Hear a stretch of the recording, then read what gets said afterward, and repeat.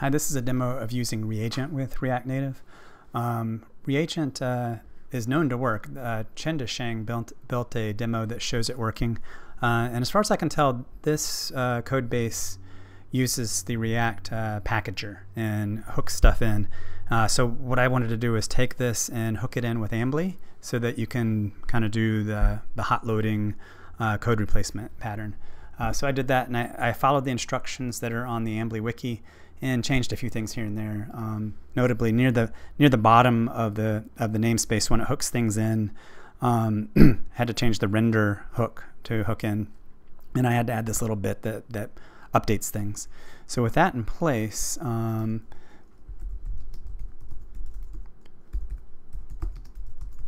I'm going to build it. A bit so you didn't have to watch that build. Uh, now it's there. I'm going to run uh, the app in Xcode.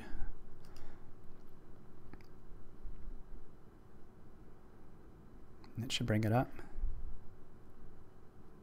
Okay, and there, there's the app there. And I'm going to start up um, Ambly with the uh, poor man's Figwheel that basically does the built-in ClojureScript compiler watch uh, methodology to recompile every time you save the file.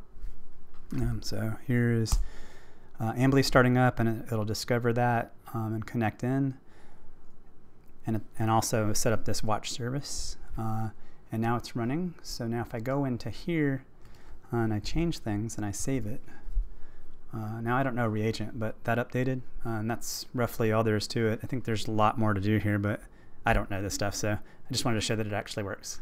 All right, thanks for watching.